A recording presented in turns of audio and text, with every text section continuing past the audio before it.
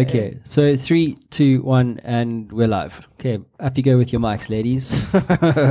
There's a tutorial here, which is great. Thanks, man. cool, ladies. Um, so how's it, guys? Welcome back to another cracking installment of the Matt Brown Show. Um, as you will notice, I'm surrounded by three beautiful ladies. You also happen to match that up with a bucket loads of intelligence, which we're going to explore at length today. Um, and so, really, what we're going to talk today is about impact, uh, entrepreneurship, social and um, social entrepreneurship, I guess, um, and then really women in entrepreneurship and leadership. And I think these are such important. This is probably out of all the possible conversations one that can have, like I've just had a chat about identity politics, you know, which is equally important this one I feel is actually really, really, really, really important. So hopefully we'll do justice to that um, and really get um, women across Africa and around the world to to kind of inspire them and to do more, uh, you know, that they, than they currently are. So. Um, what, what? Amazing. And I was just going to say thank you so much on behalf of the three of us for having us on the show.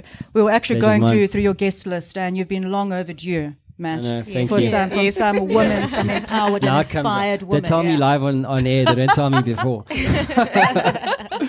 so that's great. So um, for for those of um, my listeners and, and my audience who don't know uh, who you three are and how you're all connected, mm-hmm. um, I'll start with you and we'll just run down the line. Just what's the headline? Uh, who are you? What are you about? Stunning. So my name is Natasha Katopodis and my main hustle is to lead the teams that drive digital transformation within the banking and insurance space at Microsoft. But really my passion and, and my desire is to empower and uplift women in terms of bridging the, the divide that we're seeing out in, in South Africa. So what I'm truly passionate about and what I'm here about today is the concept of impact entrepreneurship and how I, as a woman that works in corporate, can partner with other amazing women who are out there doing some amazing things. So Ez, over to you. Thanks, Natasha and Mike. It's, it's really, really awesome to be here today. So, I am Eslyn Barends, and I am a social entrepreneur and self mastery coach. So, I'm absolutely passionate about inspiring people to live a meaningful and purposeful life. So, I'm also one of the co founders of the Dream Girls Academy, which is a mentorship and empowerment organization for teen girls and young women. Hi, I'm Batho, and I'm a mathematician turned impact entrepreneur. Um, yeah.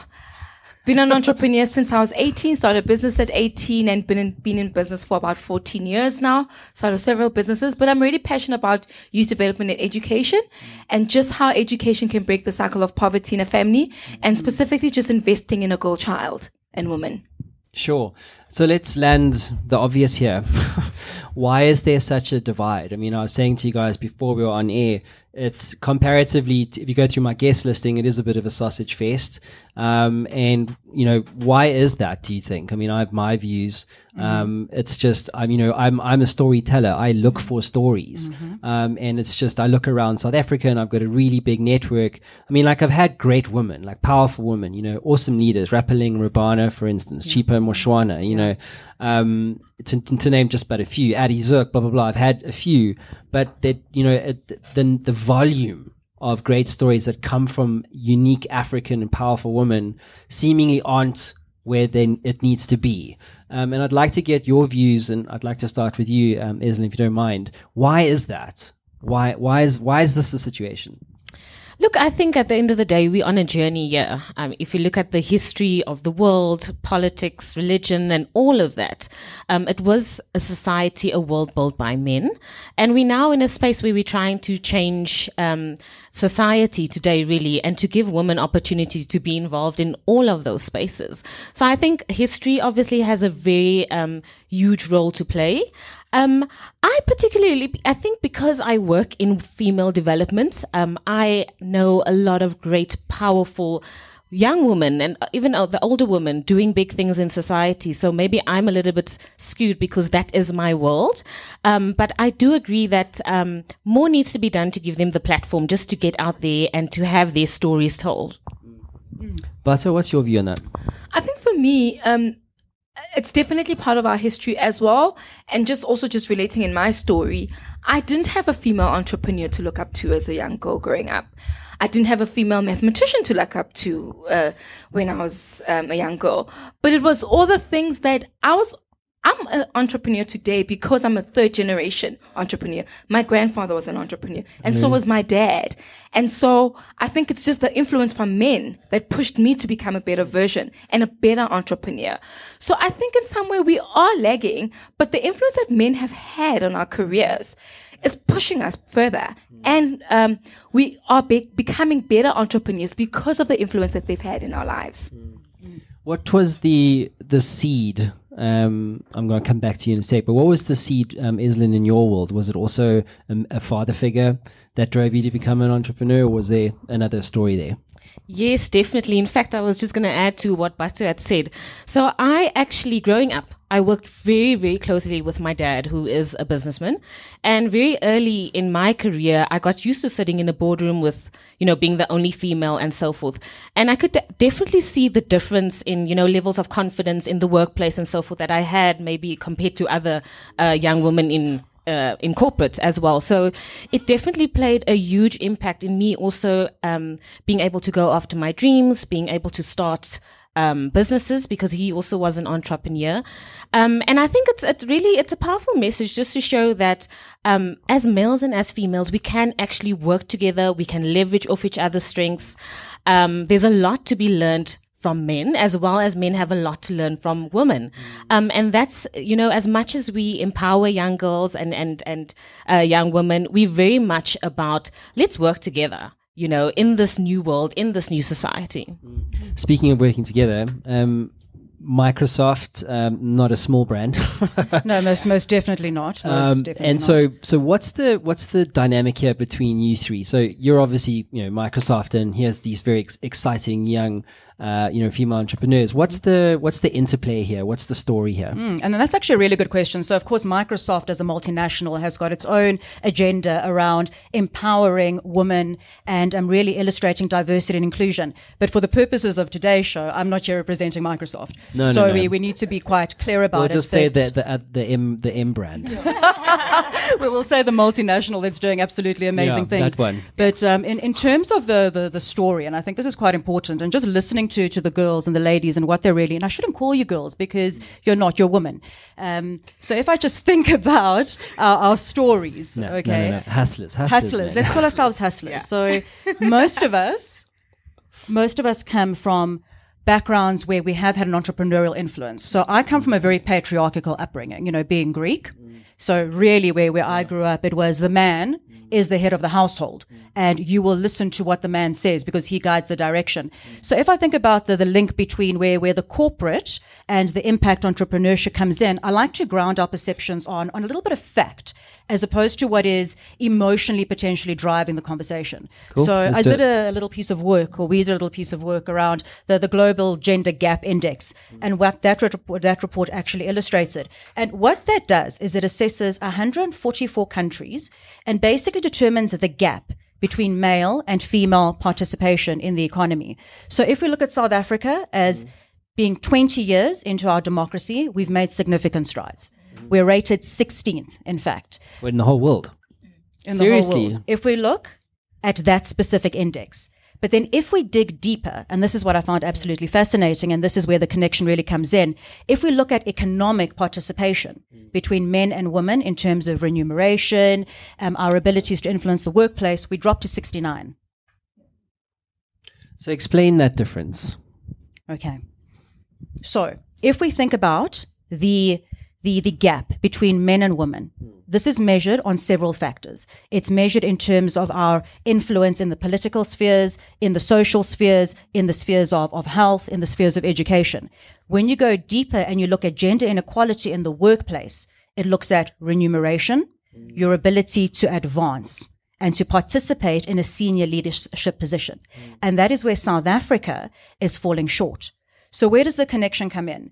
Me working in a multinational and having access to so many other big brands and so many other influential women, mm. we can tap into those networks and then help the likes of the Dream Girls to mm. really expand their agenda.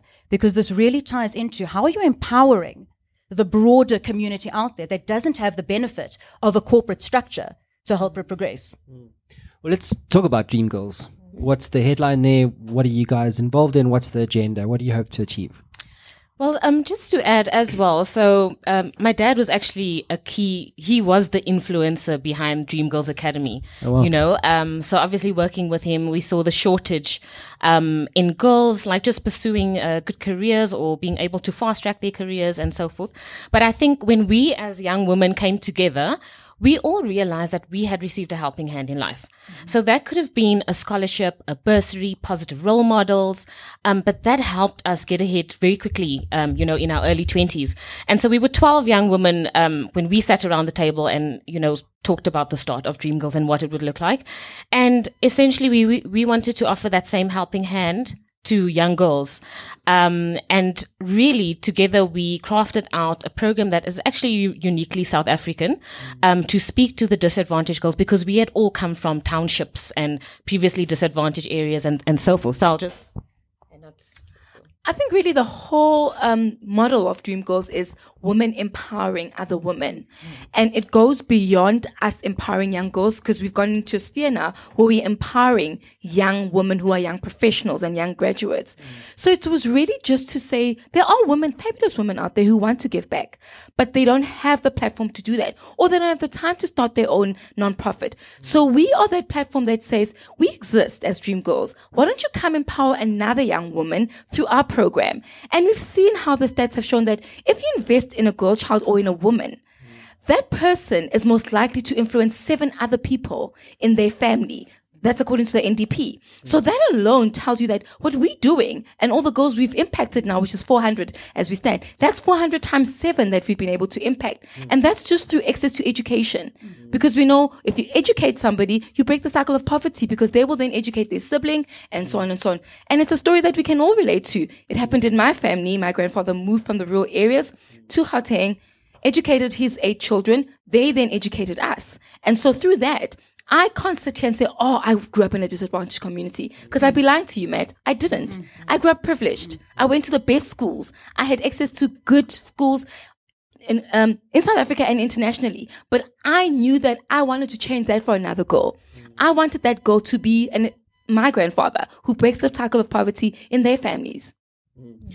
That's an incredible story, and I love that we're talking about education because this show is all about that. Mm-hmm. You know, um, and you know, traditional educational structures are, are fucked. Okay, like there's no way what we learn at school is going to, and you know, I feel free to argue and disagree, whatever. This, the whole point of the show, um, but it's my just my experience. It's like speaking to leaders, business leaders in South Africa and all around the world. It's just education needs a complete overhaul to build entrepreneurial thinking because it's not about look, mathematics fantastic you know go and build an ai program you know which uses math largely to build um, that kind of tech um, but things like geography and blah blah blah like uh, and the way that the educational environment is structured to deliver an outcome do you know what I mean? It's it's the world's moving so quickly now. It's like you need. It's called the ad- adaptability quotient. Come from Singularity University. It's like how fast can you learn, and then and then also having said that, it's kind of like well, um, I and just from my side, like I was born before the internet. You know, my son will only ever know the internet. Do you know what I mean? There- There's a fundamentally different mindset straight away. So, like, if he if he wants to learn about how to build a rocket ship, he just opens up his phone, jumps on YouTube, and off you go. And he learns about fundamentals of engineering for, for rockets or satellites or anything really. So informal learning has become such a big deal.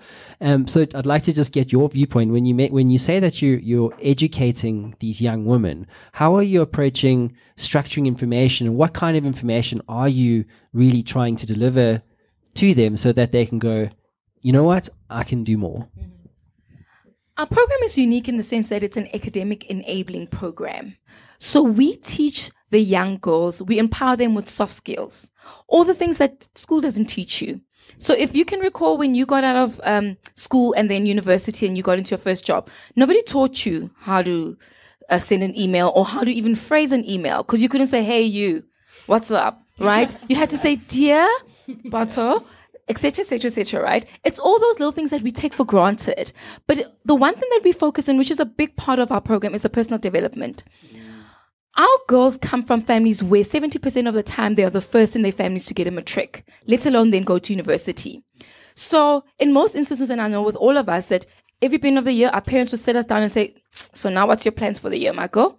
I'm paying this much school fees. I want to know what you what you're planning for this year. How, what are you going to get at the end of the year? Your results, etc." Some girls don't have that opportunity. What we call dining room conversations, mm. and Dream Girls is a space where these conversations start happening to say, what are you dreaming of? What do you envision out of your life? Mm. And how can we as a program or, or, or an organization get you to that? So we plug in into all those loopholes that the education system or that you can't get in a textbook. Because that will ensure whether you succeed or not. Because graduating cum laude doesn't always ensure that you're going to succeed. Well, I mean, it's you know, it's the whole argument. Well, do you get an MBA or not? Yeah. You know, yeah. because what I mean, great on paper, fantastic if you want to go and work for an investment bank. Yeah. But if you want to really change the world and do what you guys do and what I do, and what we hope to inspire other people to do, is an MBA really worth the time and the cost investments? I mean, if you think about student debt in America, I mean, it's ridiculous. It's literally ridiculous. They are they have a degree, but so do thousands of other kids mm. you know, with the same degree. Plus, you're now burdened with debt. So it's going to take you five to seven years to pay that off if you pay it off at all. You know, and that's that's really that's why I say, you know, when I talk education and especially tertiary education, it's like, well, what's the better choice now? You know what I mean? And so I think, you know, initiatives like yours is really, really interesting. And the other thing um, that is interesting from, from listening to you speak about it is that uh, it's come up on my show before when I was interviewing Danny Kaye and also Maps Maponyane. And they both said the same thing. They said that the reason why they are able to achieve things is because of their home environment. And if you're a if you're a young black woman and from the town, uh, privileged or not, if you have a broken home, right, and you don't have the right mentors, like you know, parents for me are like they're mentors and they're guardians and they're educators, you know, and they're all these things. But you know, like if you don't have that, as a child, if you have two children, one's got a supportive environment and the other one doesn't, how do you compete? Because in the in the world that we're moving into, even the world that we are in today, it's about the ability to compete at an individual level do you know what I'm saying? Mm-hmm. And be able to make choices that redefine who you are, not that hold you back. You know what I'm saying? Because some bad shit happened to you. You know what I mean? Yeah. yeah. And and if we if we tag on to what you're talking about as an individual, you can you really are in charge of your own destiny and making things happen. If I think of the the work that you do with the Dream Girls Academy, it's really about giving these women that confidence to be able to make their dreams a, a reality. And when we started the, the conversation, there, there was this question that was posed around why do we see so few women leaders? And we've got some amazing role models that we can talk about. I mean, if we look at the literature, it can go to, right, um, patriarchy is stacked against us, so we don't have the right opportunities. Or it can go to, well, women have decided they're going to have babies and not focus on their careers. So it's not about the why. It's about the what are we going to do as women in society to enable and empower others to be able to achieve those, those dreams. And if we think about women in the workplace and a lot of the skills that you tap into is really about having that self confidence to be able to sit around the boardroom table and have your voice heard. So, and we, we you asked, do you have any any funny stories that, that you can share?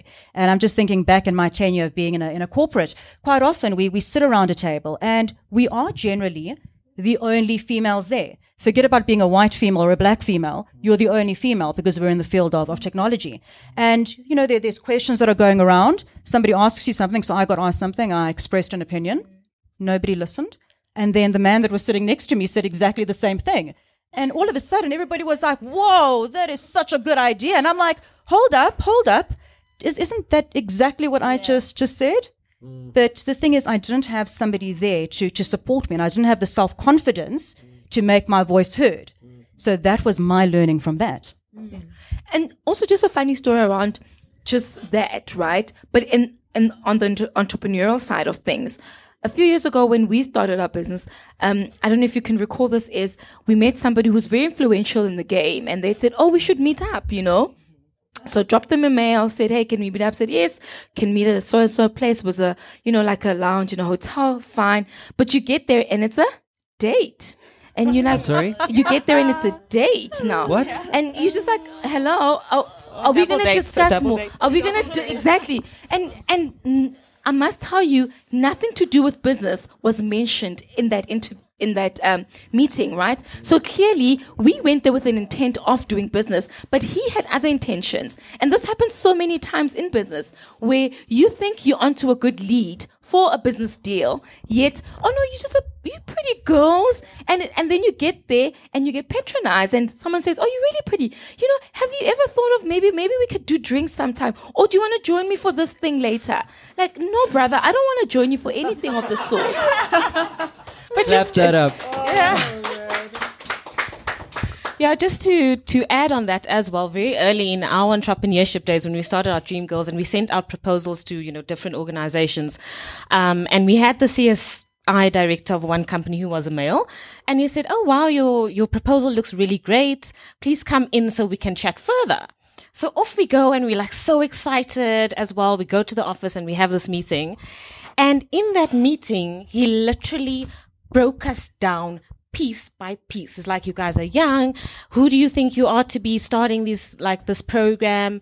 And really kind of patronizing from a female perspective, um, you know. And we walked out of there. We're like, what just happened? I mean, if you didn't want to invest, I think you were saying. I think just, you were. just I think say, you were. sorry, no, you were probably you," using you other know? words as well. Yeah. What just happened? No. no, we, we do talk like that, Matt.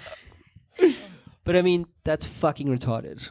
I'm sorry. Do you know what I mean? And that, and I suppose, and I, we just had this identity politics show, and that it's interesting. You know, with the Me Too movement, it was necessary um, for idiots like that. Do you know what I mean? Sexist pigs, like the example that you gave. You know what I'm saying? Like that is just a Neanderthalic mindset for any man to hold in today's world, right? Where equality and um, you know egalitarianism is is front and center of most conversations that really fucking matter. So, um, but interestingly, contrary to that, after the Me Too movement, it's actually made men now go, well, what do I do? What kind? You know what I mean? So it's, it's like there's that there's that paradox there. Do you know what I mean? So in the pursuit of equality, actually. Uh, there's also downsides. Do you know what I'm trying to say? And, and, and this is this is an important point that, that Matt's bringing up because if I think of the people that helped me grow in my career, they were men. So they identified the potential in me very, very early on. So by no means, and, and I mean, you need to add on if you are we saying that men are not instrumental in terms of this journey. In fact, what we're saying is men have to support us in this journey. And especially if we look at how many men are in those powerful positions. It's up to them to help empower women to get to that next level. And for women to help empower each other. Mm. And that's where the power of, of the network really, really comes in and to have that voice and, and to be, to be heard. In fact, now the UN recently just uh, launched Hear Me Too, which is Oh, supported, yeah, which is supported by men to say men are also speaking out against the Me Too movement and saying why are women not treated fairly in the workplace? So they're saying this is not an um, uh, the female battle for them to fight; it's our battle. Right. And it's been so good to just see how males and females have come together to fight for cause, you know, for gender equality. Mm. I love that because it's a community, right? At the end of the day, like, um, it has to be done by both. Mm, yeah. It has to be because if it's only done by women, there's a downside, mm-hmm. which we which we've just went through, and if it, and equally if it's only done by men, then how's that how's that right for women also? Do you know what I'm trying to say? So you have to kind of get that balance right. You know what I mean? But I want to ask you guys this: um, What do you say to, or what words would you like to share with a woman entrepreneur or aspiring entrepreneur that's listening to us right now, that's battling to be taken seriously by men? To your point, when you're young, it's very hard to be taken seriously, regardless of you know white woman, black woman, whatever. Men doesn't matter. How do you get? Or what's your words of wisdom, advice? What experiences have you had? Take this guy for instance. Did you ever follow up with him and go, "Hey, man, you know, screw you, dude. This is actually what we do now." Or was there kind of like a, an fu moment in there? actually, actually, Was no. there really? We worked on the relationship, and he actually landed up giving us uh, a donation, like one of our first donors. And uh, we actually, Well, yeah, we congrats. we um we quite good friends, and like person and professionally now, like we in the same circle. So yeah, I guess it was a learning curve for all of us. Really. How did you turn that around? But I think what that experience did and what all the other experiences did for us is that it made us work even harder to prove ourselves, right? Because now somebody was saying, Who do you guys think you are? And we were like, We'll show you because we've got the credentials, we have the education, and we've got the passion. So for me, I'd say if anyone's going through this situation, let that be the fuel in your fire. Mm, let that spark you even more to go for your dreams and to chase after what you want. Mm. Because really, it's not really about proving someone wrong or right, but it's about proving it to yourself because that's the only person that matters, right? This is your journey to walk, not somebody else's, because you'll have naysayers along, uh, along the way. But if you stick to what you do, here we are eight years later, you know, we're one of South Africa's biggest mentoring programs. And look at him now, you know, he then has given us the respect we deserve and that we still deserved back then. Round of applause. Amen. Preach that shit. And you know what that ties in to, to add on to that? So knowing your your value. As a woman, mm-hmm. knowing what you bring to the table. So whether it's in the field of entrepreneurship or whether you're working in the in the corporate space, mm. you have to be able to articulate what it is that you bring to that table. Mm. And I think you need to be aware of the fact that unconscious biases and things that you perceive are actually going to hold you back. So I remember your mentor, Lillian, actually said, as a woman, you need to accept the fact that you need to be more prepared than anybody else. What you say, how you say it is going to be interpreted in many different ways. What you wear is going to influence the thought process. And we're talking about unconscious bias. So in my household growing up, I don't know about the two of you, you know, when people would come over, It's probably not the same. Ah, you'd be surprised. African cultures, African cultures and Greek cultures, very similar. So, you know, people would come over and, you know, we as women, we would have to go and make the coffee. Okay. really? Yeah, we'd go and we'd make the coffee and we'd have to serve the adults and the men that were sitting there having the conversation. So that's normal. So when I used to go into these, you know, big, powerful executive meetings, the first thing that I would do was, um, can I make anybody coffee? And off I'd go and make coffee. So what does that do? That doesn't give you a seat at the table. Yeah. What does it do? What perception does that create for you if I go and make the Uh, coffee? Subservient, maybe exactly. something like that. Exactly. Well, certainly not equal. exactly. You know, well, you haven't given your chance to be on the front foot. Do you know what I mean? yeah. Yeah. Yeah. Because what what did they say? Like, um, you know, you know, you make your just your mind up about someone in the first Yeah. sixty seconds, sort of thing. Totally. You size them up. Like you said, oh, Matt's wearing shorts and a camo shirt. Look at him. Of course he's of course he's chilled. Do you know what I mean? But it's true, right? but um, but it's interesting. I think we should play a game. Ooh, We love games. Yeah, we love Let's games. see. Okay, so Mav, is Chris gonna? Okay, God. Hey guys, what's up? Hello, hustlers. Hello, Thanks for joining us today. We really appreciate it. Um, so we're going to play a little game. It's called the Improbability Challenge.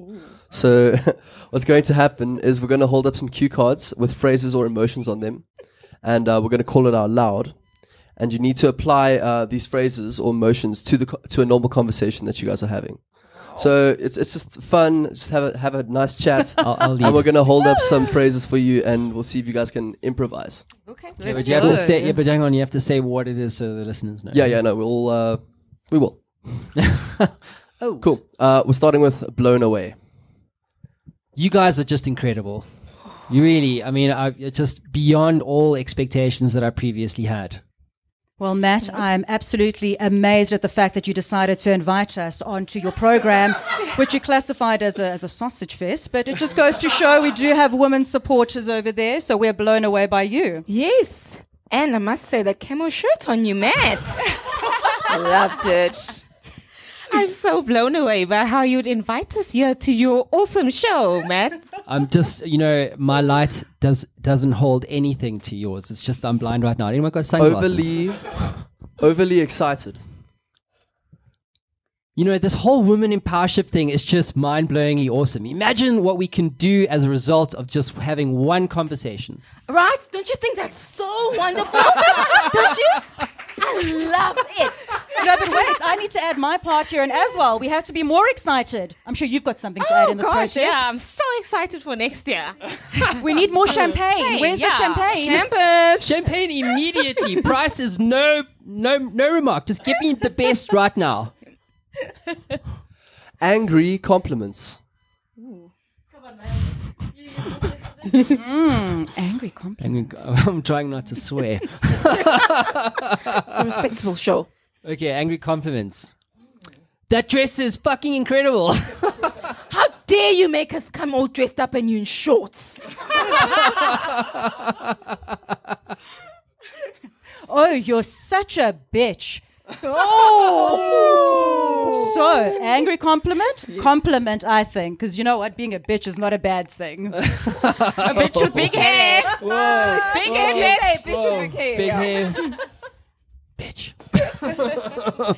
okay, next. Is that it? Are we That done? was it for the improbability challenge. Thanks, guys. All right. Thank so you. much fun. Thank you very much. Thank you very much. So, um, let's. Where, where where should we go from here? What's burning in your minds right now? What really needs to be said? I want to make sure that you guys have the opportunity to to land some key things from from your perspective. Take your time. No one's listening. No one's watching. of course not. I think maybe just, and this I know, like it's for the three of us. One thing we want to make clear, and I think one of the reasons why we wanted to come here was not really to be um um be all about male bashing, like that female trio that bash the males all through the show. Because that's not us. We love men, and we've had some influential men in our lives. But I think what we're trying to just say now is that we want men to keep supporting women. But we also want the next generation of young men to support the next generation of young female leaders as well, right? Because what's happened now in the world and not South Africa alone is that a lot of attention and money has been pumped into female empowerment and the boys are being left behind. And what's happening to the boys? They think that they're not important. They're losing power, right? And what we're saying here is that we can share the power, right? And actually, what is power? Because if you're not using your power the right way and you're not influencing or affecting change, then you don't have power, right? And so I think the main thing that we want to really leave here, um, get out of the door and think, you know what? We don't want people like hashtagging us, oh, the trio that bashed men. No, we love men, but we're saying let's work together, you know? Let's empower both men and women to give them the necessary skills, the necessary education so that they can lead this world to become a better world. That's such an important point, eh? That one around the role of the influence of men uh, on women in order so, so that women can actually become, you know, you know, philosophically equal. Does it make sense? So, and because I, I personally haven't even thought about that, like ever. Weird. You know, I've done the show for three fucking years, and I have never actually thought about that. It's always to your point. It's about guarding the narrative around it's the feminists. Do you know what I mean? And it's and it's uh, you know feminism at all costs when that's not actually the goal. Do you know what I mean? Yes, that's you know I suppose it's the, the far left or whatever, but but I mean that but that's really the goal. I mean, but I mean, so there's obviously tons of men listening to us right now. How does one engage in that process without um, you know being fearful of doing the wrong thing because that's kind of what's what's out there right now. So I think men need to, to tap into their own unconscious biases and really dig, dig deep and understand how they have been brought up influences the way that they treat women. Because whether we like it or not, we all, we all are exposed and we're all victims of our unconscious bias. Mm. So dig deep and, and understand why do you react a certain way when a female broaches a certain subject or when a female comes to you and asks to, to be promoted? What, what is it that's, that's stopping you from acknowledging that point of view.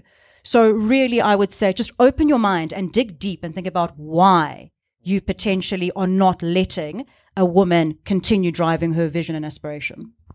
I think, you know, if you are a male and you obviously have a mother and uh, you have, may, perhaps you have daughters or sisters, females are around your, your life. So it's also for you to kind of like, if you are a male manager, think about, okay, how do I create a more uh, inclusive environment for my team? Um, how do I encourage my girls to go after my, after their dreams? I, I'm sure as a dad, you would want your girls to go after their dreams. So it's about exploring all those aspects of life and seeing, you know, how do we make this more equal? And actually, gender inequality impacts both males and females. Because, for example, um, a man could be looked down on for taking long paternity leave. You know, we, whereas it's a given for a woman to take, you know, obviously she, her body goes through stuff, but I mean, it, you know, it is, it is Uh, thing, you know? aware. Yeah. But it, it, yeah, so it, it, it, Right. it impacts everybody. Speak, yeah. sister. Cool. So let's talk about impact, right? So um, it's funny. Was I was talking to you the other day um, about this, but basically, you know, there's this whole Silicon Valley. Oh, it was Mike Stoffel. So this, there's this whole Silicon Valley narrative that, you know, if you're going to start a business, it's got to be tech, you know, um, and then in order to you know get that thing to grow, you've got to take funding, and then you know you know got to grow aggressively, and because you've got investors, they want a twenty x return on their money, and then the only way to survive post that is to go you know IPO, um, and then you know it's like where does it stop? Do you know what I mean? Um, but but contrary to that, there's an author, I um, forget um, his name now, it just literally came through on email yesterday, but he wrote a whole book about the multi billion dollar industry for street traders. Do you know what I mean? These are the, like they will never scale, right? But but I mean, there was this one um, uh, one example he gave where it's just a small family. I think they're from uh, from Nigeria, what have you, but they earn a billion dollar business by using street hawkers to sell stuff to transporters. I mean, it's just crazy. Tell me that's not worth earning. You know, Roman's Pizza, John Nikolakakis, also a Greek dude. You know, um, you know, Romans does, uh, you know, north of two billion a year. It's a family-owned enterprise. You know, 260 stores. It is still privately owned, which makes a difference. I mean, you know, they employ thousands and thousands of people a year. So social entrepreneurship is a big deal. Sustainable uh, businesses is a big deal. It is now possible to enable those things. Where does one start? If if we if we're looking at um, you know an aspiring entrepreneur who has the choice, because like where you put your ship is as important as what the ship does. So um, what's what are your where does one start, right? So you're an aspiring entrepreneur. How do you decide? Hey, am I going to go start up tech and buy into that that crap? Or am I going to go social entrepreneurship and really make a difference? Because you can solve an education problem and become a billionaire. You know what I'm saying? Yes, you can. Mm-hmm. And I think the common thread that runs through entrepreneurship as a whole is that it doesn't matter matter whether you're in tech, in social entrepreneurship, but it's the business of people. Mm. You're working with people at the end of the day, and you somehow want to touch those people's lives, either by creating a solution that's going to make their lives easier or by giving them something that's going to get them to the next level, right? And as for whether to go for social entrepreneurship or for profit, you can make money being in a social enterprise. And that's where everybody has it twisted or has it wrong. They think if you work in the NPO space, then you can't have a nice car. You can't dress nicely. Mm-hmm. And we laugh about this all the time. In fact, every time we go into a meeting, like, ooh, don't look too nice for that meeting. or don't take that bag. But I'm just like, but we are not poor social entrepreneurs. We have a lifestyle to maintain as well. We enjoy the finer things in life, but we are also very, very, very passionate about impact. So, in other words, and also, how are we going to be teaching the next generation of young female leaders if we're saying, do good, but look poor? Because yeah. we have to lead by example, right? We have to lead by example. So I'd say do both. It doesn't matter because if but the one advice I can say to anyone, if you're going to start a social enterprise or a non-profit or whatever, run it like a business. Don't run it like an shame business, which is what I say. You know, so run it like a business. Have your stuff in order. Be professional. You know, even when you walk into a meeting, make sure that you are giving them a solution and they're not make, make doing you a favor. Mm. And that's how we've run Dream Girls over the years. Is that we are here to create a solution for a problem that exists in society. We're not here so that people can just give us money, you know. And we've, over the years, we've tailored and we've really changed the model of the business, which is Dream Girls Academy over the years, mm. to become really a profit generating nonprofit. Yes, we go out and we seek funding, but we also have clients that pay us for a service that we give them, which is setting up mentoring programs in house. So, what are the characteristics of a social entrepreneurship slash enterprise play? Yeah. So it's it's it's basically a business model that the primary motive is to make an impact in a positive sense in society. So that could be from health, education, dealing with poverty, and so forth. Um, but creating a business around it. So within the social entrepreneurship space, you do get nonprofit organizations and you get for-profit like edtech businesses and so forth. But I think just to to build on what Batho has said, maybe just to share a little bit about how uh, Dream Girls grew from a financial perspective is Please. that when we started out, so we literally put in our own money, family, family's money. Um, there were years where we, we actually we actually had to sit down and say like, okay, we need to shut down the doors because we're not going to make it. But then we just kept on, right? And when you're starting a business as a social entrepreneur, um, corporates, they want to see impact first. They want to see that you've done something. So the first three years are quite difficult. Um, and you have to get creative about how you raise your money, right? But then as we grew, we were like, how do we become financially sustainable? Um, so that's when we started at looking at revenue generating models or different income streams within our business. And now we also sell services to companies. So when they buy that service, we take a portion of that to cover the rest of our, our flagship, uh, you know, program. So if you are going to go into social entrepreneurship, I know that you're going to be very passionate about what you do, but think about how are you going to manage this financially and what are your financial goals for yourself and your organization as well. Yeah. And it's also all about shared value. That when you go and approach a business for funding, you have to ask yourself, how am I going to add value to that business?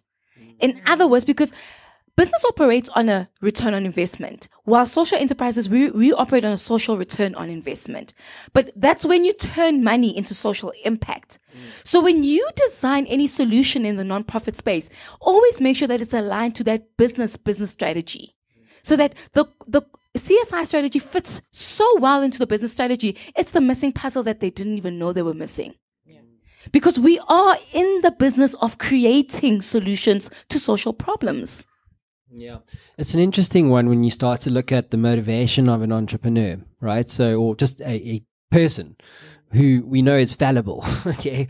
Um, so like I, I, it's interesting for me because if, if I'm brutally honest, digital kung fu is, is not a social impact business. I mean, we, we help people tell their stories and brands tell their stories and stuff like that. But that's kind of like where it stops. We're a for profit business. Um, more broadly, category, when you look at for profit businesses, like greedy, they cut corners, they like do things that are shady. Like every business that that is motivated by profit, especially the bigger they get, the more valuable they get. Prof, for profit motivated businesses are by nature risky enterprises, right? Not, I'm not talking about survival or success. I'm talking about what comes out of in the pursuit of profit, given human greed and human blah, blah, blah, corruption and all this kind of stuff. And then you say to yourself, okay, Matt Brown, would you start a sustainable, for, like non, uh, what do you call it, a not profit business, but for social impact? And when would you do that? And that's interesting for me because um, I would only actually do that after I've made money. Isn't that? But is is what do you say to that? So yeah, that's that's really funny, and I find a lot of okay. And now I'm going to be stereotypical, but I find a lot of males would say that, and I have experienced in my life. Like, let's first go and make money, and then give back, you know. But I think I don't know. Women, women by nature, we are the nurturers. Uh, you know, we by nature want to help and bring other people along, so we tend to actually start it earlier. Um, but also, um, that is actually, as we mentioned to you earlier, we've got a couple of businesses, mm. and it's with that same thinking. So we've our other businesses are also social enterprises, but it's for profit. Um, however, it's also because we want to make a difference in education and so forth.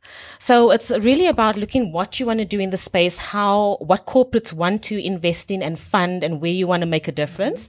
And then where are, where can you make your, your other money? So it's typically like any organization would have. They would have their cash cows that bring in money all the time and they'll have their more strategic projects. So it's, it's about applying that, you know, business thinking also to your social enterprises and start giving with the little that you have. Mm. It's the law of the universe. When you give, you get. Mm. So for the first six years of Dream Girls, all we did was just give out of our own pockets, right? But I promise you, the first big check we got was a lot of money. We actually couldn't believe it. It was a lot. How much? It, it was a lot. It was How a much? big injection. How many numbers? Six. Nice. Yeah. So in fact, we started singing that song. Emily, Emily, Emily. Gives you an, gives you an idea of that. But right? But it's that. But I'm just gonna leave now. you said like, we I could dance. It's just too cool. but it just side. goes to show that when you give, you will always receive. Always start giving, and Oprah says it often that you start giving with the little that you have. So if you are making a hundred, uh, let me just say ten thousand, do you know that you could give off 200 rand to somebody who needs maybe a pair of shoes, right? Mm. And some way or another, that's going to come back to you tenfold through a business deal that you would have never thought. And we personally live, live on that philosophy. it's it's you know I haven't been in business for so long. I really believe like I've just gotten some business deals where I'm like, geez, where did that come from? I wasn't. I didn't even have to work hard for that. Or somebody picks up the phone and calls us specifically and says, guys, I want you to work on this. And we're like, oh, do we have to come and pitch? They're like, no, it's yours. Just give us. Tell us how much it's going to cost us and just make it work. Yeah, and the good thing is that um, all of our entire team, our founding team, we've got one other founding member, and uh, we've got a board of five, and we've got teams in uh, Cape Town, Joburg, and now Durban. All of our team members have the same thinking, you know, about that. Like, let's do, we're going to get, we, we believe in like the law of the universe, attraction and so forth. And we just aligned in that way. And because of that, we have been so like just blessed as an organization. Like, you know, those years when we thought we didn't have money and we had to shut down the doors, it just ran, you know, so, so yeah. But corporate South Africa, and I was just um, wanted to add on to the point, they are becoming more socially responsible. Mm. So yes, let's let's not kid ourselves. Mm. All of these big organizations are worried about the bottom line, but we're noticing a change in leadership, mm. and we're noticing a change towards that shared value economy. And what's become really attractive around this next chapter of what Dream Girls is doing is how corporates are latching onto their offering. So how do they utilize these impact entrepreneurs who are doing such amazing things to further impact their own social agenda within that specific environment? So yeah, I think the just wa- tide's yeah. turning. I actually want to just give you an example of that, of how a corporate is doing that now. I mean, um, there was a corporate and, uh, and this did not come from the CSI department. This came from a marketing brand department and what they want to stand for as a brand. We were able to, I mean, our offering actually integrates with what they're trying to achieve as a brand. So for them, it's like investing in a TV ad or, you know, um, outdoor or an event, but now investing with more purpose that they're still able to achieve their business objectives, which is actually going to land up in a financial return for them, but by partnering with like-minded organizations that can help them get there. Yeah. And research also shows that now with the employment of millennials and Generation Z, they want to work for corporates that are doing more and doing good. And it's something we see, it's a trend that we're seeing over and over again where you have young people asking, So, what are you doing for uh, CSI? You know, yes, I'm a lawyer. Yes, I'm a mathematician. Yes, I'm an accountant. But also, what is my company doing? Outside of these four walls, and we've got corporates who have partnered up with us, as is said, for something where they want their they staff to be volunteers but they don't have a volunteering program. So they say to us, please come and design a volunteer employee volunteer program for us that runs in-house where our staff members can feel like they're doing more outside of just what they're doing in this company. which again underscores that whole human need to contribute, right? Um, which is interesting because it's it's new. I, I say I say it's always been there, but it's it's really it's when I say it's new, it's new because things are actually happening. You know, like there's Head Start with Microsoft, for instance. You know, giving back to startups. There's what you guys are doing, and and edge growth. You know, um, enterprise sustainability development, and all that capital that needs to be invested in local um, uh, enterprises that ultimately will create jobs. You know what I mean? And change people's lives in the process. Like that shit didn't exist 20 years ago. You know what I mean? Um, which is really interesting. The other thing, that, just a comment from my side, is that you know you don't need to. You can, but start a for-profit business. Go for it, dude. Like fuck, if that's what lights you up, go for it.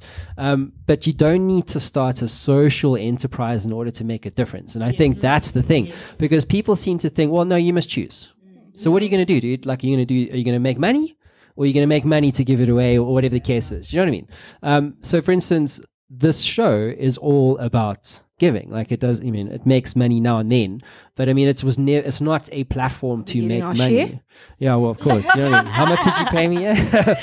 but but um but this was this was always about contribution you know it's about connecting people through stories and educating and providing information from other women leaders and you know and I, I love to use the story that you know i've got a listenership in over 100 countries around the world and you know if i can just inspire one mm-hmm. person just one one person a day to start a business doesn't matter what sex they are just one person that's 365 startups in just mm-hmm. one year. Okay.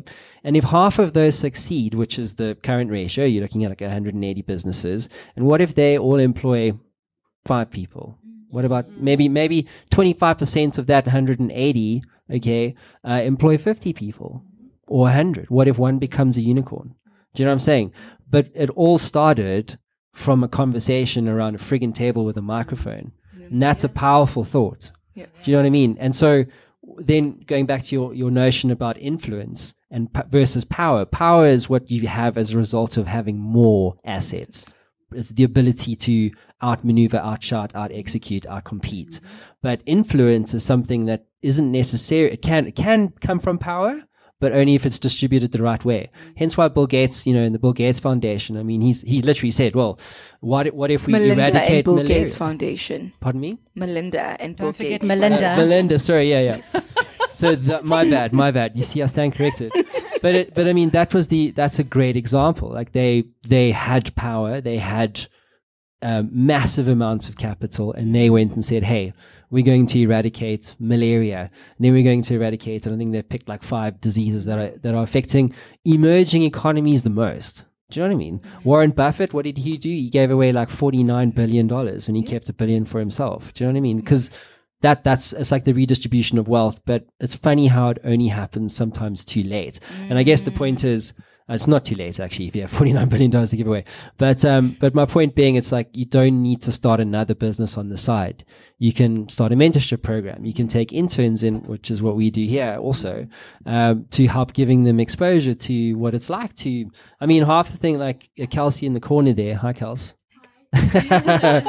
um, she's an intern, you know, and we've done three shows today. Um, and it's just listening to people talk about things that really matter. You know what I'm saying? Um, and that's just a simple, doesn't cost you anything, or I suppose it does, you know, from time or whatever, but, but it's necessary. And it doesn't just need to be those those big corporates that have the money to invest, or those really rich people that can afford to make a difference in society. It can be just one person that's sitting here on your show that says one thing that actually inspires and motivates somebody that's listening mm. on that other side. And you know, I keep thinking of, of the two of you. So how Ezlyn and I met was was through Microsoft, mm. and at that point, I was looking for some sort of purpose. Mm. What is it that's going to, to drive me? There's got to be more than just this day to day hustle. And then I heard about what Ezlyn and Batho were doing. And for me, that's what it was. It's like, how, how do I, as one person, help influence so many others out there? So these stories are important. Mm. And just to get onto your conversation about what you do on this show, that's education, which gives, mm. brings us back to our initial conversation, right? Mm-hmm. Because you are here educating so many other people out there. And just by giving them that access to education, you're going to change the future of their lives. Mm. Because that person might be listening at just the right time. It might save them a lot of money. It might save a life. It's those little things that we take for granted, right? Because you are educating. Yes, I think we need to also take um, um stop believing that education has to happen in the formal walls of a school. You know, we live in a in a world where education can happen from anywhere. No one has no one has an excuse and say I can't get information, and this is a platform for it. Your bit You've done it and you do it all the time. You've done it three times today alone. Is that you've educated people over and over again. And then through that, you've then played a role in breaking the cycle of poverty in their lives. So yeah, it's a humbling thought, eh? But um, yeah, it's yeah, it's it, it is humbling, and I and I can say like um, with content, uh, I think you know if you're an aspiring entrepreneur and entrepreneur, like you you have to be a producer, you have to produce. Um, you have to be producing content around what you're doing, why it matters, the difference that you're making, the lives that you've touched and that you've changed. And what's really interesting about podcasting specifically is like to your point, when, you know, so we, let's just say in 18 months time from now, Matt Brown Show has done 300, 400 episodes and some woman's searching for information related to with the work that, I mean, where are you going to be in three years? Or, you know what I'm saying? And then they find this interview and that, and they go, holy shit, that was it. You know what I mean? That's the power of information, right? Yeah. Let's do the Injustice League. Do you guys uh, recall what we're going to do here? Remind us. Enlighten us. Is it Injustice League? Yes, there Goodbye. is. Justice League. Okay, so um, the guys are going to get set up here, but um, this is the part of the show where we talk about injustices. So um, I'm going to ask you, and you guys can can have a stab at it, right? So, what is the one injustice that you guys see in the world that you feel, you know, really needs to be eradicated or, or spoken about? Hmm. I think for me, just access to quality education. That um, someone getting quality education should not be dependent on their pocket, their race, their background, you know, um, whether they are a trust fund pers- a baby or whether they come from privilege or not. Everyone deserves quality education. Yeah, I mean, I'm going to build on that. My whole life's purpose is around education. Um, and, you know, similarly, like kudos to you for doing this show. Um, I watch, uh, like, uh, well, I listen to podcasts and watch show like this all the time to keep myself motivated as an entrepreneur. And I don't think I would be able to continue if I didn't have that constant source of motivation. So thank you for that. But, um, yes, access to education and schooling systems and so forth, it needs to be addressed to so that young people have the same chances in life. And um, you know everything starts with education and um, being able to kind of get out there and, and build a life for yourself. So yeah. And just to jump on that, eh, sorry, I just thought about it now. And just also just the non-conformity of education as it stands, where you know, as you said, geography, then there's history, then there's maths, but they're all in silos and they're not working together. And why are we not teaching entrepreneurship from a young age in schools? Because not everybody's going to be uh, employed by a multinational like Microsoft. Some of us have to go out and start our own Microsofts. But if we're not getting taught that at a high, at a school level, then how are we going to know that we need to do that? And then when we graduate or when we finish school, we all are running towards to Microsoft. Yet I don't know that I can start a Microsoft. So really the one is just also advocating for the change in the education system to include more entrepreneurship courses to really tell kids that anything's possible. You can start a business and you can start a business in school. And that's, especially in this country, it's not really being pushed in this country. You know, we are, we are really, our education system is a churning out like you input output really input 10 output 5 so to say it's never input 10 but output 5 graduates and output 5 entrepreneurs let's have something like that Great, love that. Clap that up. Yeah. And and adding on to that, um, just bridging that gender inequality and um, the gender inequality divide, and seeing more women in leadership positions. So the thing for me, it shouldn't matter if you're male, if you're female, if you're black, if if you're white. Equal opportunities need to exist. But where we are today, we need to see more women in those leadership positions. And then the second one, which I think is a huge injustice, is bad hair days. And you know what? There's something biblical over here. So there's that story. What was it? Samson and Delilah. Okay. There, there- there's a story here. So we're not saying that we want to cut the man's hair and render him useless. Okay. We're Yeah, all yeah, about yeah, men that's and women so working true. together. the bad hair days, it's a problem. Okay, it's cool. an injustice. So what we've done is we've got we get a we've got a we've got a Oh. prop here with the with the bad hair day attached to it. yeah Um, so um, so I'm gonna I'm gonna ask you guys to put your mics down, and then um, to to pick up a baseball bat. okay, so here's one for you. So you got that one. Um, just health and safety warnings. Please be careful. mics y- mics will survive. Heads won't survive. Okay, jump off your chairs, and then uh, are you guys ready here, guys? Are you guys ready here? Okay, cool. And uh, so when you think about bad hair days, well, you know what to do.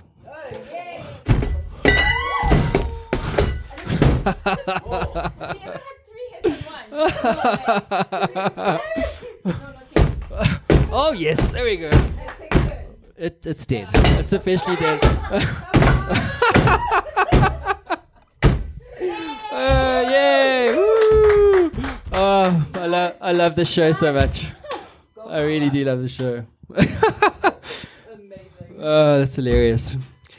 So, uh, matches my outfit just uh, gra- gra- grab your grab your mic stick. So what did you say? The wig what? that wig matches my outfit maybe i'll take it Uh, that was hilarious. Thanks, guys, for that. Um, so I've had this conversation come up, just to your point, um, Batho, about uh, you know teaching entrepreneurship in schools, and um, and and there's basically two schools of thought around this. Uh, the first one is you can't teach entrepreneurship because this leads to the second th- of, uh, other school of thought, which is you're just born an entrepreneur. You just you know you get uh, the guys who um, are selling lemonade you know uh, when they're three or they're trading uh, baseball cards when they're like seven. You know what i'm saying? Like you know and so we all have that thing. Like uh, my my view is and, and you know i'd love to get your view but my view is you can teach it You can. Um, I know because I was that. I mean, I watched my old man, you know, you know, build businesses, fail many times, make a lot of money and stuff like that.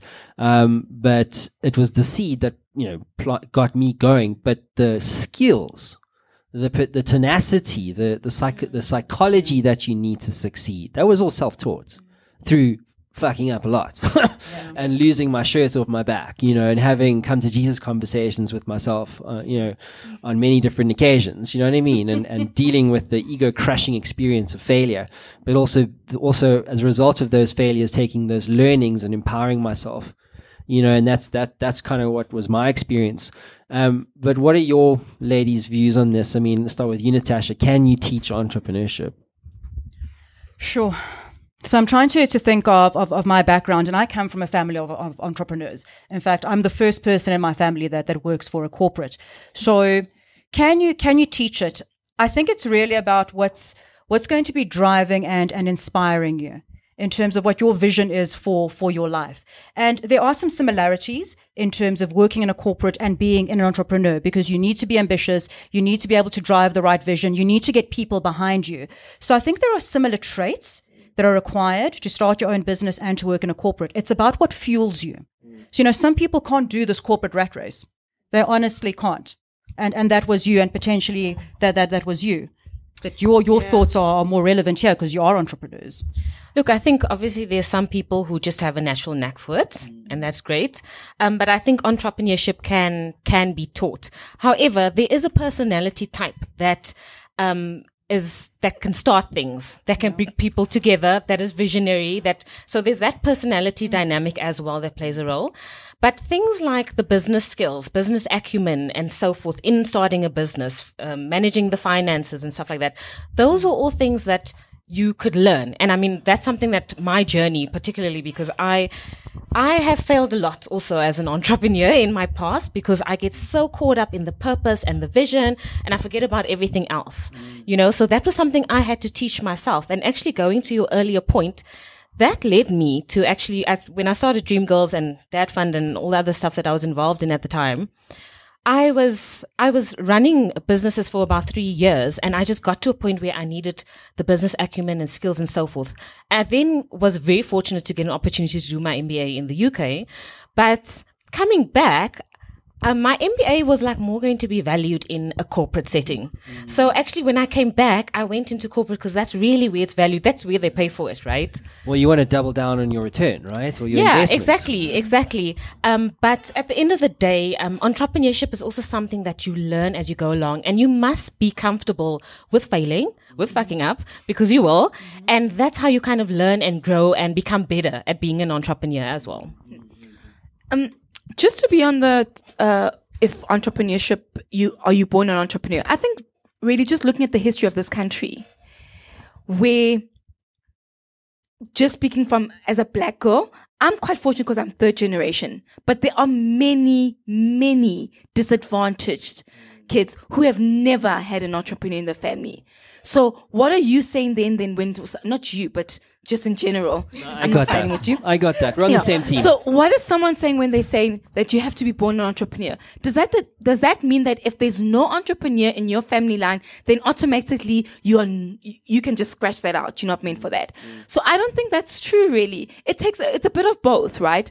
But I think more than anything, you've just got to have the passion for it, because entrepreneurship is hard. You know, it's hard. It's watching others grow while you're still growing a business and others are in corporate you know it's but it's also just the one thing you have to keep reminding yourself is why did i get into this in the first place right why why why it's always going back to the why and i think that's one thing that's actually been my saving grace and helped me to grow as an entrepreneur because every time i get into a i get a deal or something i always think is this aligned to why i wanted to do this business and if it's not, I've let go of business opportunities. I don't care how much they're worth. Because if it's not aligned to the why, why I got into business in the first place, then I won't do it. Because chances are I'm going to mess it up. It's greed. And as soon as greed creeps in, then chances are you are going to mess it up hectically, right? So entrepreneurship, yes, can be taught, but a lot of other things come with entrepreneurship that people don't really uh, take into consideration. Morals. You know, you can't be an entrepreneur, a successful entrepreneur, if you've got no morals. You know, we've seen how it happened in this country with the whole KPMG scandal, with the Guptas and everything, right? And I didn't want to be controversial, but hey, there we go.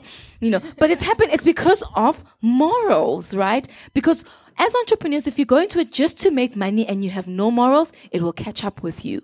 So more than anything else, what we need to also start teach that entrepreneurship has a has also has an element of soft skills and morals. It's not all hardcore dog eat dog world. You know, there's a softness that you need in entrepreneurship to succeed. Yeah, it's interesting, right? But how do you create that spark? It's almost like I think it's a mix of, of both. Because I think, to your point, um, you know, you are a pers- a certain character type, like you just because that's you know how you are. I'm sorry, buddy. You know, life was like that from from the age of zero till when you were like 15. You know what I mean? You you are formed a certain way. Um, so at that point, you I suppose you almost want to take them from when they're like 15 16 i say them like people who don't know whether they are going to be an entrepreneur or not maybe it's not because i say anyone can be an entrepreneur but it's not for everyone yeah But other people can be entrepreneurs. Entrepreneurs within a corporation. In fact, our, our the founders of Dream Girls the Remain, myself is, and they, we've also got another founder, Maurice. She's full time corporate, but I must say, Dream Girls would not be what it is right now if it wasn't for her, and how she's brought in the corporate knowledge that she gains every single day working her nine to five and brings it into the business. Just in fact, on Sunday night, we sent a voice note because we were like, "Oh, we need we need you to prep us for this meeting. What would you What would they say to you in corporate? What would you do in corporate? Because it's an element that we wouldn't know as entrepreneurs, right? And so." I think we need both entrepreneurs and entrepreneurs because I think, you know, she may not think that, but we say to her, she's an entrepreneur. She's got an entrepreneurial mind from the influence that she gets from us as her, as her best friends. She takes that influence into her work, her nine to five. And we take her experience in, in her nine to five into our business. When I started a business, I had never worked for anyone. So I didn't know a marketing plan. I didn't know anything. I had to teach myself most of the things and, and also the help I got from my mentor, right? But other things I asked my friends. I asked my friends, so what do you guys use in corporate? Do you have a template? How do I do this? How, how do you come up with a budget? Do you have a template? And guess what? Now I have my own templates and I'm sharing them with people, but I wouldn't have had those templates if I didn't ask somebody. Yeah, no, I get you. I get you. Um, it's like um, so. Allon Allon Raiz, and if you know who he is, are you part of that whole thing? No. No. Okay, I didn't think so. Very much for profits. um, but uh, but he's but if you so when digital kung fu, you said, well, how did you come up with the name, whatever. So the, originally. Digital Kung Fu was like an innovation consultancy, like how do you become digitally fit as a business, sort of thing. Um, and so we were building products that assessed the digital fitness of the business and stuff like that. So we were, you know, originally going to be accepted as part of um, Raizcorp's um, program. And so what he does, which is really interesting, and it kind of illustrates my point, because out of if anyone's qualified to understand whether you, whether you back this jockey or whether you walk away from it, it's Allon Raiz. So I mean, he's incubated like twelve and a half thousand entrepreneurs over the last twenty years. Like he kind of knows what he's doing in this space. But you know what he does? He's like, first thing, take this test and you do the psychometric test and it spits out a thing. It's like two hours long. It kills you to death. Um, and it spits out everything that uh, motivates this individual, um, where their weaknesses potentially would lie. Like, how, what's the archetype for this person? What you know, all this kind of stuff that that to your point is entrepreneurship sort of base. You know, the the inner game of success that if you don't get right will never translate over to the real world, or highly unlikely. It's improbable, basically. You got to like I keep saying, business is like eighty percent personal. You know, twenty percent business. Um, and so that's that's kind of what we I would almost say that we need. It's like in the inst in the if we we integrate this thing across all schools and we do like a standardized assessment that says right out of the 1 million candidates mm-hmm. 300,000 most lend themselves to this kind of work. Mm-hmm. And then the other 700,000 most lend themselves to this kind of work do you know what i mean and then you implement a program of interventions that empowers them with skills and insights and structured learning that doesn't involve fucking geography or history. I mean, history, like you can learn through Google. Do you know what I'm saying? I'm maths biased. Uh, you are math. I love math. Math is awesome. Good. But do you understand, like, my point? Like that. That's kind of. I, I would imagine, like, if I was to, you know, have the opportunity to shape what that might be, that would be the approach. Because, as I say, it's not for everyone. Like my wife, pff, no way. Do you know what I mean? Brilliant at corporates. Oh my god! Like hands down, kick me all day long down the streets, um, but can't handle the uncertainty and the pressure and the risk and the you know and just the pain. I mean, it's, it's you can't And some compare people the two. just thrive on that. And entrepreneurs, we actually need people like that in our team as well, Mm. right? Because often what happens as an entrepreneur, you are the visionary, the creative person, you d- dealing with the big strategic deals, but you also need executors.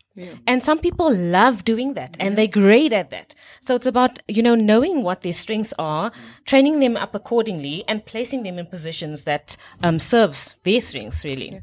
And the reality is that corporate South Africa is not going to bridge that divide on its own. Look at the unemployment rate. We need entrepreneurs. So is there an opportunity? But opportunity? neither is the here, guys? government. Let's be honest. Yeah. You know, based on current track record, it's pretty. I don't know. Yeah. Even with Cyril, you know, being president, it's you fighting a system. Do you know what I mean? So I, it's like And a legacy. a le- that's why I say it's actually up to the individual. It's the private companies in their own way that do this because to change, uh, it's like, is it is it Richard Branson or say anyway? But these programs do exist in other parts of the world, like the Nordics, for instance. Like mm-hmm. this exists. Mm-hmm. Mm-hmm. Like they, the stuff that they've done there is just insane. In order to cre- enable their kids with the means to be relevant, Yeah. you know, not just skilled, relevant. Because skills anybody can learn, and there's so many skills. So which ones? It's actually about well, it's the mix of skills you need to become relevant. Yeah. You know, But it's also just also um, saying to the education system that yes, you can go to university and be an accountant, but it doesn't mean you have to go work for in a firm. You know, you can go into other things. I know accountants who are into cybersecurity now and have just digitized they you know their career and but our no honest our our education system is already like it's it's a, it's in a box Mm. so you study to be a mathematician so you must then go out and use maths every Yeah. single day of your life That's it. you know and and i get this so many times when people say so what do you calculate every day i'm like no i don't calculate every day but my degree did you also think that no because I, I get it all the time but my degree has really helped me to become a better mm. businesswoman mm. because I think analytically. You know, I can assess things. I where everyone sees a problem, I see a solution. But I wouldn't have been able to do that if I wasn't uh, uh, trained in the field of maths, right? And so I think it's about time that we started saying to our kids that, you know what, you can study whatever you want to do, but you can also do whatever you want to do with that degree. You know, S comes from a marketing background. Is she doing marketing now? Not really, sometimes. Sometimes. In the business, but she's gone into entrepreneurship. Do you understand? She's gone into social entrepreneurship. And so many times we've bumped into her old, old school friends are like, oh, you're not in marketing? She's marketing her life. She's doing well at it. Marketing her life. CEO branding, bitch. Marketing her um, ladies, uh, let's wrap this up. Um, one last question uh, for for all of you.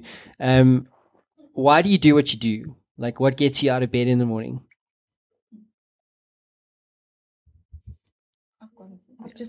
Okay. okay. So so really what what gets me out of bed in the morning is really being able to to see women just really own their own futures and not be dependent and I'm talking about me as well, not being dependent on anybody else to drive your success. So that's what keeps me going is owning my power, inspiring others to to own their power and really just living your version of your best life. Hashtag best life. Yes. Awesome. Yeah. For me, I absolutely love seeing the light go off in someone's eyes when they realize that their future and their life is completely in their hands. So it's about helping people to own their power. Um, that's my purpose. That's what I do every day through the, all the businesses that we do. Um, and yeah, and that's, that's why I'm here. Yeah. I must say, I just love my life. Like, I could do this even if I wasn't making any money because I'm exactly where I'm supposed to be doing exactly what I'm meant to do on this earth. And no money in the world can buy that, right? But I think the one thing that just gets me out of bed is just seeing how much of a change I can make to somebody's life. I can make a difference in someone's life. I can change the history of someone's life. And just to know that that I can do that to somebody's life, that's a gift on its own. You know, that's worthy of me getting out of bed and Sure, doing Basil. something with my life. Wow. Goosebumps. Wow. wow. That's fucking Powerful. goosebump stuff right there. Powerful. Um, well, I think we should end right there.